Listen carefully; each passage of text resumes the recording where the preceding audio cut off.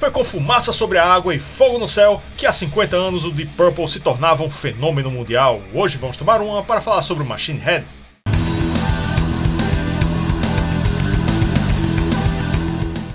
Olá, amantes do bom e velho rock and roll. Eu sou Rafael Araújo e estou aqui novamente com Yuri Moreira por um motivo que estávamos esperando há muito tempo.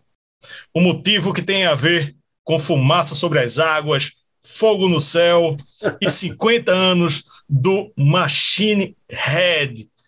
Veja só, Yuri. Primeiro, vamos dar o um recadinho do nosso canal de cortes, né? Exatamente. E atendendo a pedidos, a gente resolveu organizar melhor as coisas. Então, a gente tem aqui o canal oficial, que tem os conteúdos mais longos e tal, e o canal de cortes, que, como o próprio nome já diz, são os cortes dos nossos conteúdos longos.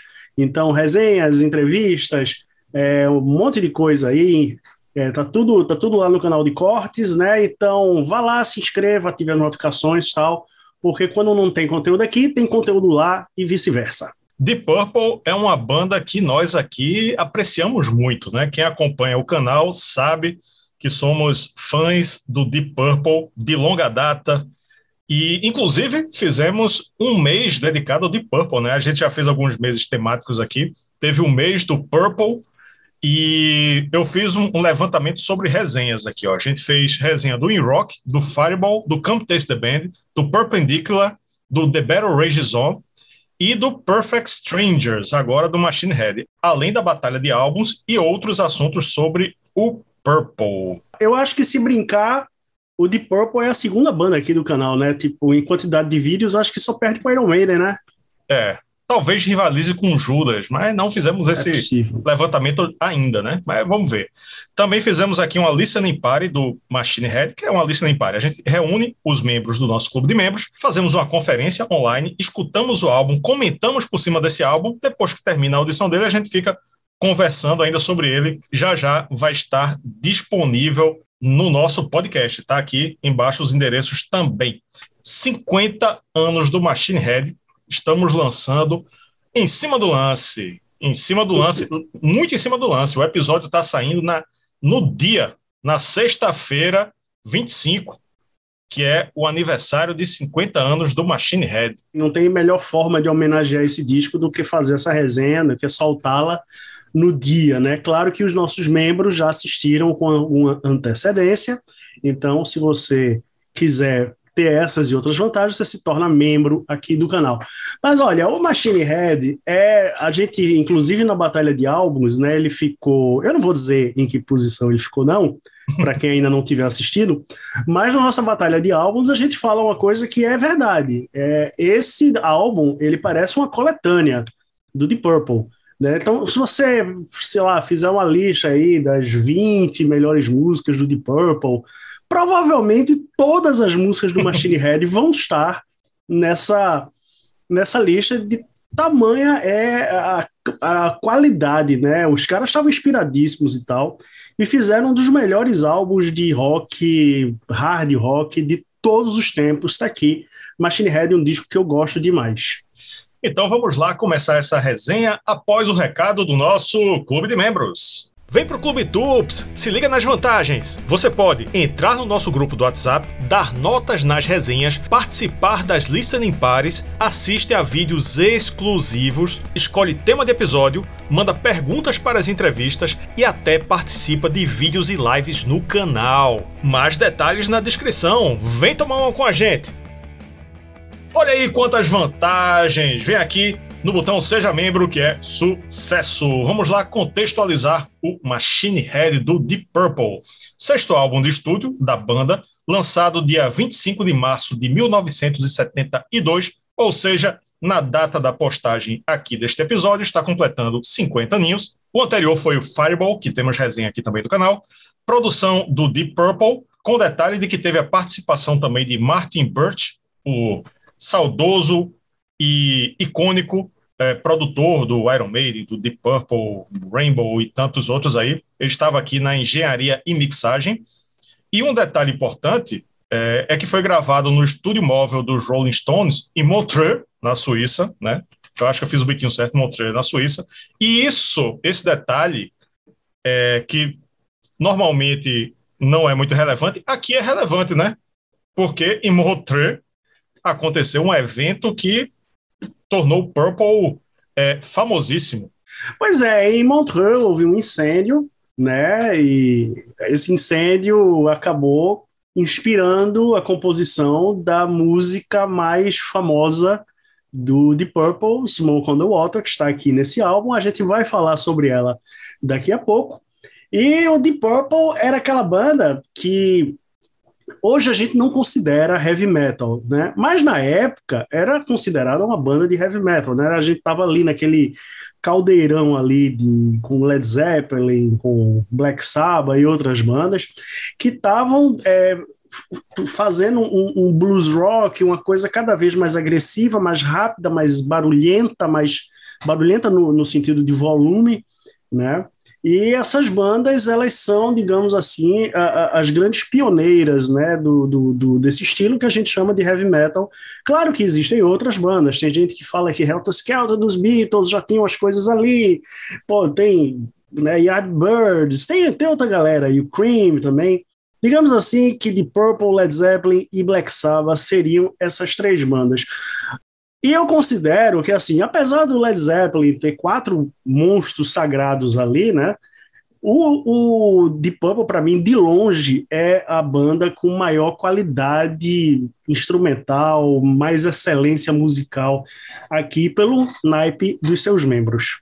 Chegou a hora de falarmos da formação. Olha a formação: Richie Blackmore na guitarra, Ian Gillan nos vocais e na harmônica ou gaita, Roger Glover no baixo, John Lord nos teclados e órgão Hammond, Ian Pace na bateria e percussão. Dessa formação, sempre que a gente fala do Purple, com essa formação que é conhecida como Mark II, é, simplesmente, eu digo, é uma das melhores formações da história do rock. Todos eles são gênios da música, são ícones. Dizer o quê, velho? Gillan, um dos vocalistas mais influentes né, da história do rock. John Lord, um cara que desenvolveu um estilo ali que também influenciou e influencia gente até hoje. Ian Pace, um dos maiores bateras de todos os tempos aí, né, tipo, um batera estilo old school. Roger Glover, grande baixista, se não é um cara tão lembrado de repente como um, um grande baixista que é, é um cara que tem uma história muito grande como produtor, inclusive produzindo o Judas Priest, né? E Hit Blackmore, pô, Hit Blackmore que influenciou toda uma geração de guitarristas aí, né? Incluindo Malmsteen e tantos outros. Então, só tem monstro aqui, só tem, só tem gente grande. Sobre a, a sonoridade desse, desse álbum, Rafael, a gente já falou que foi, o, o Martin Birch foi o engenheiro de som, teve o Ian Stewart, que operava ali o estúdio móvel dos Rolling Stones, e a própria banda produziu esse disco, e o, o curioso é que eles gravaram né, muita coisa no hotel lá, e usando colchões, lençóis, essa coisa como abafadores, né, para o som não vazar e tal.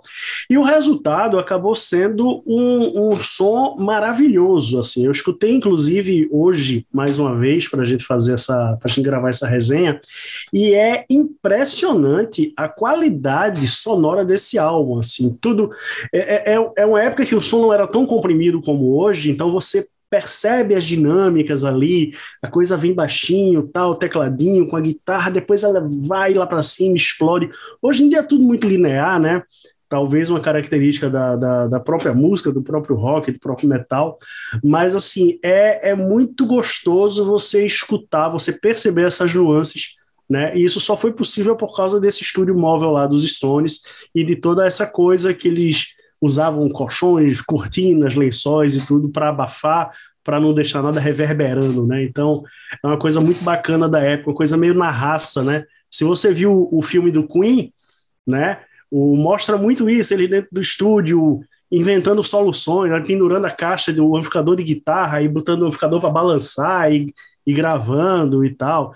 Então, era uma época que as bandas é, botavam muita mão na massa, né? Não é essa coisa de hoje, de ah, tá tudo pronto, joga um plugin aí no computador e tal. Era muito, a coisa era muito artesanal. E isso fica muito claro aqui na sonoridade desse álbum.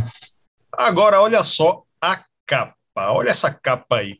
É, o Deep Purple, a gente tem, a gente comenta isso quase toda vez quando a gente faz resenha do Purple, que a banda não é famosa por ter capas muito bonitas, né? Essa é. capa, o título é Machine Head, não tem uma música chamada Machine Head, né? Cabeça de, de máquina. Machine Head, na verdade, é, eu acredito que seja esse o significado. Machine Head é a tarraxa do baixo, do, do, do violão, da guitarra, em inglês, uhum. aquilo ali, porque a, a, a, parte onde você, né, que se chama, por exemplo, o violão, é, a mão do violão é aquela parte ali, da guitarra uhum. também, o headstock no caso. Então, a, a tarraxa, né, em inglês, ela é chamada de machine head. Então, uhum. eu sempre achei que tinha alguma coisa a ver com isso aí. Pode ser. Aqui tem informação, mas não tem uma música, né? Chamada Machine Head. A imagem da banda está refletida ali no, no, no, alumínio ou numa coisa assim. Conceitual, achei bem conceitual assim. O Deep Purple tem capas bem feinhas, né? Como a do Burn, como, como a do Fireball, que é horrível, né? Mas essa daí, ó, a gente saiu do Fireball, certo? Daquela aquela coisa horrorosa do Fireball para essa capa agora, tá ótimo, tá maravilhoso. Não, não não chego a dizer que é feia, não. Acho conceitual, acho, acho meio estranha, mas é, é ok. É, eu, eu procurei referências, assim, eu procurei ver se eu encontrava alguma coisa, alguma explicação aí para o conceito da capa. Eu também concordo, acredito que seja realmente um conceito. Você souber, deixa aqui nos comentários, né, que a gente também aprende. Mas é, o máximo que, que eu consegui pensar, e aí a interpretação minha mesmo, é que eles é como se fosse, porque eles estão meio é, não é nem desfocados, eles estão distorcidos, né, tal. Uhum.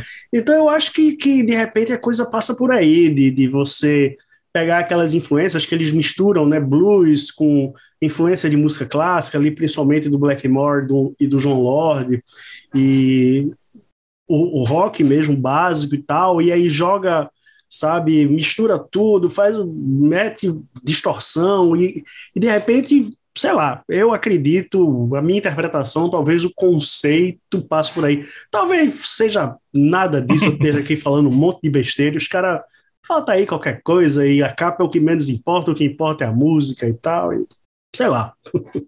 E chegou a hora do faixa a faixa. São sete músicas, olha só, só sete músicas, num total de 37 minutos e 46 segundos. Começando com Highway Star.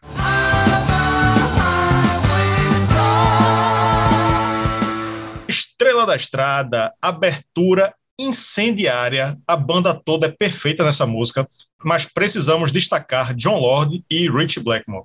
John Lord leva os teclados no rock and roll a um novo patamar. Aí Blackmore olha assim e diz: Ah, é?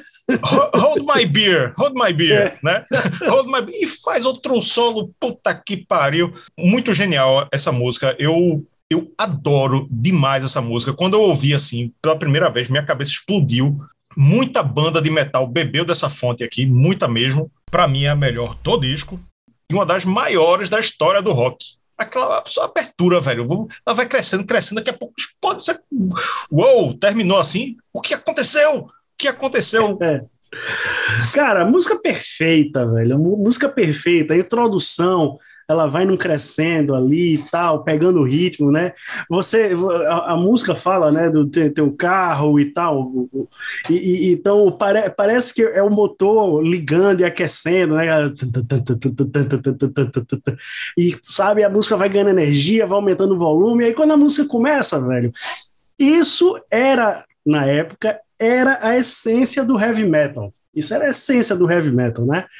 Pô, o, o, vou dizer o quê, velho? O solo de John Lord é, é, é absurdo. De, de, Blackmore é maravilhoso, sabe? Gillan cantando em cima, a bateria, de, a cozinha lá com, com, com Pace e, e, e o Glover sabe? Não, não tenho o que falar dessa música aqui. Assim, é, é, é, uma daquelas músicas perfeitas. O Purple usa ela como música de, de abertura de shows, inclusive, né? Então é a música perfeita para abrir aqui o disco, é a música perfeita para abrir show.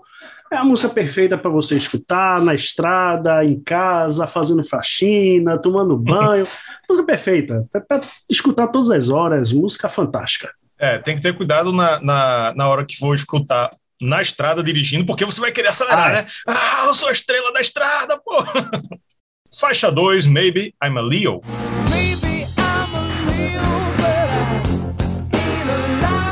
Talvez eu seja um Léo, não, um leonino, do signo de leão.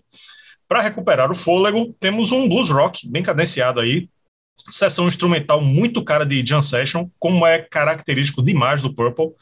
É a menos executada do disco no Spotify, olha só, mas bem próxima das duas seguintes. Elas têm o mesmo patamar aí de plays. É uma música super agradável, mas no comparativo com as outras, ela se torna a menos boa, na minha opinião. Na lista de Impare, todo mundo concordou com isso também, né? Tipo, pô, uma música muito boa, mas a gente tá falando do Machine Head, né? É, assim, eu acho que ela. Eu, eu, eu adoro a música, adoro a faixa. Acho que o riff é uma coisa maravilhosa, ali meio no contratempo da bateria. E eu acho que. Assim, porque você vem de Highway Star, né? Aí entra Maybe I'm a Leo, aí você fica, né, dá aquela quebrada, mas eu acho que essa quebrada, essa pausa, digamos assim, ela é necessária para você respirar para o que vem depois, né? Eu acho, assim, o Deep Purple é uma banda tão é, excelente, né? Tem tanta excelência que é, é, assim, né?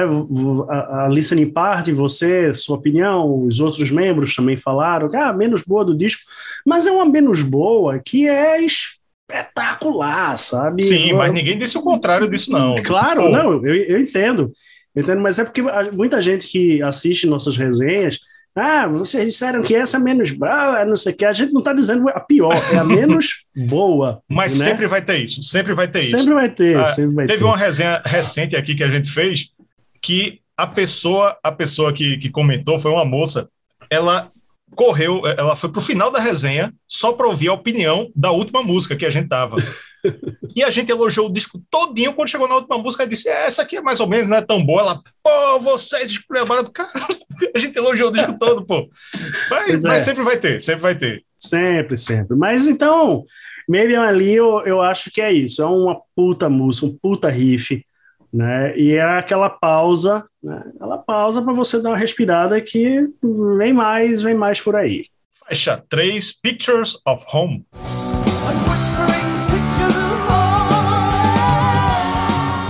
Fotografias de casa. Voltamos a ter mais peso com Rich Blackmore inspiradíssimo, John Lord psicodélico e Roger Glover metendo um solo de baixo. Acho muito interessante o modo como o Gillan canta. A linha vocal dele nessa música nem parece rock and roll. É como se fosse uma música de Frank Sinatra ou algo assim, tá ligado? Faixa excelente, né? Porque ele. Pictures are home. É uma coisa assim que, tipo, se você tirar o instrumental, é, o que é isso que ele tá cantando, né? Não, não, não é um rock and roll, mas sensacional. É uma das músicas que eu mais gosto, durante muito tempo foi minha preferida desse álbum, né? Começa ali com, com o Ian Pace quebrando tudo na bateria, né? Tem uma, uma, o riff da guitarra, né? O, o lick tem um, um, uma melodia assim inconfundível, né? E mais uma vez todo mundo muito bem aqui. Temos até um solo debaixo do, do Roger Glover. E como eu falei, durante muito tempo ela foi minha preferida, então por isso que eu disse que é, Maybe I'm a Leo ela é necessária, é aquela pausa para vir outra pedrada, que é Pictures of Home, né? E essa música é, é, é outra é outra das obras-primas do, do Deep Purple. É, eu nunca tinha, percebido, nunca tinha percebido, nunca tinha pensado nessa coisa do, do, do modo de cantar de Gillan. É, agora que você falou, ele realmente ele, ele não usa tanto drive, né? Ele, ele canta assim mais comedido tal. Mas acho que é, é, casa bem com a música, né? Eu acho a música muito legal, os dois solos, né? Sensacionais também, os três no caso, né? Mas aqui eu estou me referindo a John Lord e Blackmore. Tudo, tudo muito bom nessa música, tudo maravilhoso e o disco continua aqui, ó. Pá. Faixa 4 Never Before.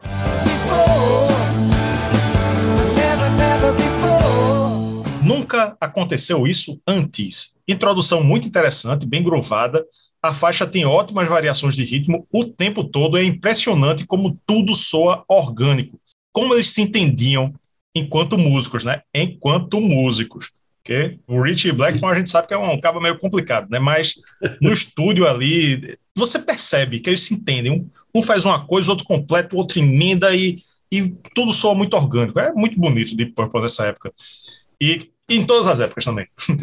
e destaque para Ian Pace na bateria, que faz todas as transições com perfeição. O curioso é que o clima é bem alegre, mas a letra é super depressiva, né?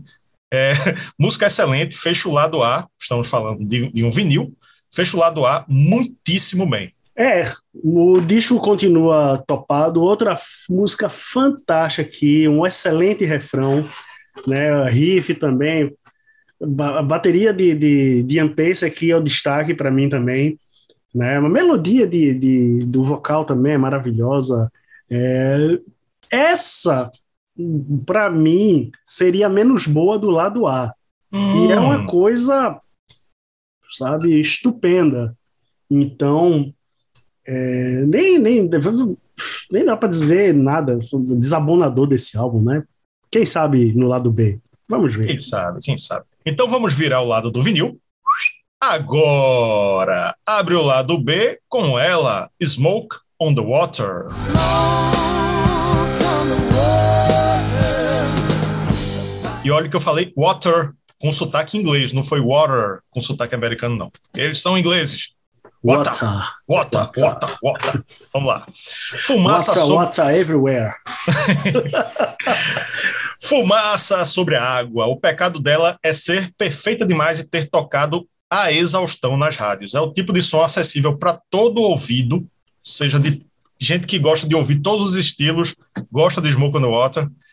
E o que faz ela ser tão popular é o excelente refrão e o riff de guitarra extremamente marcante, que é um dos mais conhecidos da música, apesar, seu Richie Blackmore, de ser plágio de uma bossa nova, né? Para quem não sabe, tem uma música aí chamada Maria Moita, de Carlinhos Lira, que era uma bossa nova assim, é, obscura, né? Não, eram águas de março da vida, não era uma garota de Ipanema nem nada assim, e que é o mesmo riff.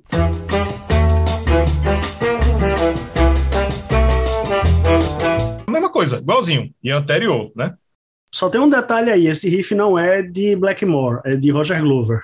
Ah, tá. Olha, então, então foi mal aí, Blackmore. Roger Glover é Roger Glover. Né? Mas, enfim, claro, é a disparada mais executada do disco no Spotify, um dos grandes clássicos do rock e trouxe muitos fãs para o Deep Purple. Mas é aquela coisa, você já não aguenta mais ouvir, né? Mas é aquela um Stairway é. to Heaven da vida, né? No mesmo patamar que já tocou tanto. Mas espetacular, perfeita. Mas é exatamente isso. A comparação é perfeita porque é, Smoke on the Water está no mesmo patamar de Stairway to Heaven, de Satisfaction, dos Stones, né, de outras músicas assim que são tão icônicas, tão icônicas que mesmo a criança que ainda não nasceu, quando ela nasce, que o médico pega nela e se ele fizer pá, pá, pá ela vai dizer de pá, pá. sabe? É assim, é uma coisa. É, a Quem música tá é, é onipresente, guitarra, né? Mesma coisa. Pega uma é. guitarra, um violão, pá, pá, lembra, lá do, lembra lá do seriado, né, de, de Two and a Half Men também, que o, o Jake sim, ia tocando, né? Era uma piada recorrente, inclusive, da série. Ele pegava a guitarra para tocar e tocava o riff de Smoke on the Water também. É um dos riffs que né, todo mundo que está aprendendo guitarra aprende. É uma das músicas que toda banda de rock toca. Né? Seja no ensaio, seja no show, banda cover principalmente, final do show, tal, aquele momento que ah, vamos tocar os clássicos aqui, tal, sempre alguém puxa Smoke on the Water, então, aquela é, é, é, a grande música do Purple, né?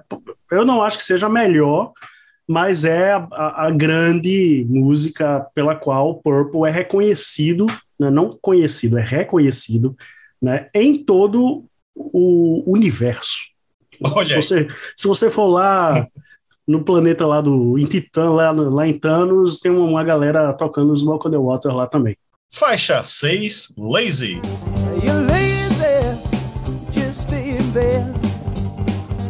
Preguiçoso, saímos da faixa mais comercial do disco e entramos na mais longa e virtuosa. Ela tem um clima de jam session muito massa, novamente, que você sente que os caras estavam se divertindo. Né? Ele, passa, ele passa aquele clima ali de que os caras estavam aproveitando mesmo e a composição é segundo plano, entendeu? É isso que eu quero dizer. É. Pô, estamos tocando aqui, estamos se divertindo, independente da duração, da, da faixa, de qualquer coisa. John Lord faz uma intro gigante, mas longe de ser chata, viu? Pessoas que fazem introdução muito longa aí no heavy metal. Não disse quem, não disse quem. O vocal só entra com quatro minutos e meio. Aí Gillan termina de cantar e diz: Foda-se, vou tocar gaita. Tipo, é assim, é muito Jam Session, pô. Quatro minutos é. de, de Jam Session, ele canta lá, Your Laser, daqui a pouco, dá a gaita aqui. E toca a gaita e, e pronto. Não tem estrutura. A estrutura é não ter estrutura. Vibe 100% de Purple. Se você quiser é, mostrar para alguém, ó, sinta o que é o Deep Purple, bote laser para tocar. É isso, Deep Purple é isso, né? Faixa sensacional. Vou, vou com o relator. É isso, exatamente isso. É, essa música ela mostra a, o que é a essência do Deep Purple, né? Uma banda que se divertia e se diverte ainda hoje, né? Em tocar então é uma faixa que ela desafia toda, toda a lógica comercial, digamos assim. Eles nunca ligaram muito para isso, mas é uma, uma música que desafia toda a lógica comercial de uma música para tocar na rádio, para não que, não sei o.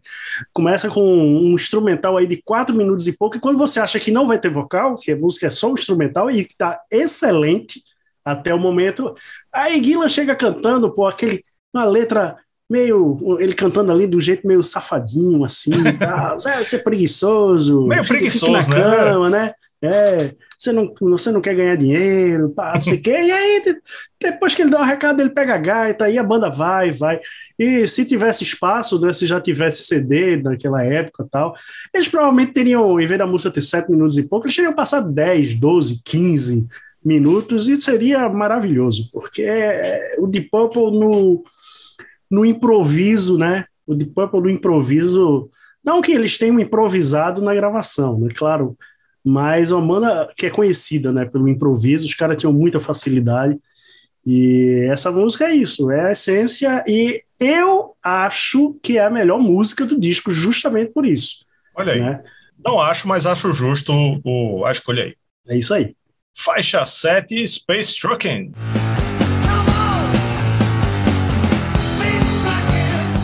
Caminhoneiros do Espaço. Pai, um título bom aí para série, para um bocado de coisa, né? Para filme. O que mais chama atenção nela é o protagonismo do órgão fazendo um riff bem diferentão. Né? Tem nada parecido com isso. Em lugar nenhum, eu acho. Nem, não só nesse disco. A cozinha da banda está excelente e Ian Pace dá um show na sessão instrumental, fazendo um, um som meio tribal ali, muito interessante. O refrão é muito legal Vemos um Rich Blackmore discreto, mas competente, como sempre, e encerra o disco maravilhosamente bem. Vou até acrescentar que o Iron Maiden fez um cover dessa música, ficou bem legal, tá aí num, num disco comemorativo aí do Machine Head, que tem vários covers aí. Última música do disco, outro grande riff, outro grande refrão, né? Refrão simples, né? Come on, come on, come on. Né? Parece até aquela outra, aquela outra música mais famosa, mas que não é que não é tão. não é A tão... Little Less Conversation de Elvis. Come on, come é, on. Pois é, exatamente. Mas é, o fecha em altíssimo nível o disco, né? E, e, normalmente a gente sempre fala aqui a penúltima música, às vezes a menos boa, ou a, a, a última música às vezes acaba de um jeito assim meio melancólico. Aqui não, a música super para cima, puta refrão, puta riff, todo mundo bem pra cacete. E é a, música perfeita para fechar aqui com chave de ouro o Machine Head. É, uma coisa interessante que tu falou e, e eu esqueci de dizer é que a regra da penúltima música não se aplicou aqui de jeito nenhum, né? De forma alguma. Para quem não sabe, é, a gente nota aqui nas resenhas que normalmente a penúltima música do disco é mais fraca, né? É quase um padrão isso. E a penúltima aqui é Lazy, né? Lazy que, que Yuri acha a melhor, muita gente deve achar melhor, eu não acho a melhor, acho Highway Star melhor. Mas ela tá ali junto de Highway Star, né? E Space Trucking encerra maravilhosamente bem. Bom, vale mencionar aqui também When a Blind Man Cries. I'm a blind man. I'm a blind uma música que vem como bônus no, no CD, mas não vinha não, no LP, não estava no LP. Né? Ela foi lançada como single lá na época. Na Listening Party, a gente debateu sobre ela não ter entrado no álbum, porque é uma música belíssima, né? Cristiano, a reserva moral do, do clube de membros, disse que talvez seja porque é muito diferente do clima do álbum inteiro, né? É uma música mais introspectiva, assim, com um clima meio deprê, né? Apesar de belíssima, né? Talvez seja belíssima porque é meio deprê. Olha o nome da música, né? Quando um homem cego chora. Isso que coisa sentimental, né? Cego no sentido ali metafórico, provavelmente, né? O que chamou a atenção também é que, mesmo ela sendo bônus, ela tem mais execuções no Spotify do que outras três músicas do álbum. Lembra aquelas três que eu falei lá no começo, que tem um patamar uhum. um pouco mais baixo? When a Blind Man Cries tem mais execuções do que as três, né? E é um bônus. É. O que a gente falou lá e que né, muita gente concordou também, não chegamos no consenso, mas talvez ela devesse entrar no lugar de Maybe I'm a Leo, porque eu acho ela melhor do que Maybe, I'm a Leo, né? Só se fosse para trocar uma por outra, né? O ideal é que tivessem todas essas mesmo, né? Fossem oito faixas no, no LP, mas não cabia. Eu, eu, eu, eu acho que são duas músicas é, excelentes. Não, não consigo até não consigo dizer qual melhor, até porque são bem diferentes, né? São duas propostas bem diferentes. Mas se ela estivesse, né? Se houvesse é, capacidade física para botar as oito músicas ali no, no vinil na época, provavelmente esse álbum ele seria mais vendido né, do que ele foi e ele vendeu muito. Tem um vídeo aqui no canal que na verdade é aqueles vídeos de gráficos, né, tal sobre os discos mais vendidos na história. E se você for lá, você vai ver que o Machine Head vendeu muito, um dos discos que mais vendeu de todos os tempos. E eu acho que se tivesse o When a Blind Man Cries, ele talvez tivesse mais alto nessa lista, porque é é, é a balada, né? Falta balada nesse disco, né? Ela falta, ela faz falta aí. E ela é uma puta balada, né? É uma grande balada. E eu tenho certeza que mais gente teria comprado esse álbum se ela tivesse aí. E agora chegou o grande momento do episódio, o momento em que vamos julgar o Machine Head com a nota de 0 a 10. Olha só. Como funciona? Eu dou uma nota de 0 a 10, Yuri dá uma nota de 0 a 10 e o nosso clube de membros também dá uma nota de 0 a 10. Nosso clube de membros, que tem várias vantagens aqui no canal, vem aqui no botão Seja Membro, que é su, su, sucesso. O clube de membros, claro, como nós somos grandes fãs do Purple, o clube de membros, né, por afinidade, também é muito fã do Purple. E olha só, eu estava olhando as notas lá, a lista de notas. 10, 10, 10, 10, 10, 10, 10. Daqui a pouco, 9. Sebastião Mendes deu 9. Quase não. batia um, o recorde de um álbum do Dio. Não vou dizer qual. Não vou dizer qual. Só, só tem um do Dio aqui, eu acho, mas enfim. Esse do Dio foi 10. Todo mundo 10 de 10. Todo mundo só deu 10. Enfim, a nota do clube de membros ficou 9,9. É, arredonda para 10, né? Mas, enfim, tem um bocado de 10 teve um 9. Na lista de impare, todo mundo praticamente só fez elogios, né? Claro. E Marcelo Monte acrescentou aqui que não tem nada fora do lugar ou sobrando, e que das sete faixas, para ele, quatro são clássicas. Para mim, é um álbum irretocável, com Deep Purple em sua melhor fase, produzindo alguns dos maiores clássicos do rock e se tornando referência para toda uma geração da música, né, do metal e da música, né? Como eu disse lá no começo, todo mundo do metal, as grandes bandas de metal beberam dessa fonte aqui do Machine Head. Como Yuri, Yuri já, já me falou algumas vezes, né? Você percebe Gillan cantando e Bruce Dickinson, você sabe de onde veio aquilo ali, né? Você vê Blackmore tocando, você vê outros guitarristas do, do metal tocando, você vê, percebe que veio de Blackmore. Então a influência Sim. aí é inegável, é um dos grandes clássicos. A nota não pode ser outra que não seja 10. Eu nem vou perder muito tempo, nem vou demorar muito, né? Um dos discos mais importantes da história do rock. O melhor disco do Deep Purple, né? Um disco que parece uma coletânea, um disco que tem alguns dos maiores é, clássicos da banda, do rock, tem algumas das melhores performances de músicos de rock, né? Então, nota 10, com louvor. E assim terminamos com a média de 9,9, porque Sebastião deu 9. então, não, não ficou 10 a média 10, não, mas dá para considerar 9,9. Todo, todo mundo deu 9. Quase todo mundo deu 9. As casas decimais aí, como é que estão? um monte de casa decimal aí. Fica. É, fica arredonda para 10, pô. Arredonda para é, 10. Sim, claro, claro. Com certeza. Não, vou botar aqui 10. Aqui, aqui tem 10. Não é um, um 9 no meio de um bocado de 10 que, que o disco não vai levar 10, né? Mas, assim, não foi unânime, não foi unânime. Enfim, assim terminamos esta resenha comemorativa de 50 anos do Machine Head, um dos grandes clássicos da história do rock and roll. Valeu você que ficou até aqui. Não esqueça que temos clube de membros, temos podcast, temos lista de impário para quem for membro. Vem aqui na descrição que tem muitas informações massa. Valeu. Tchau.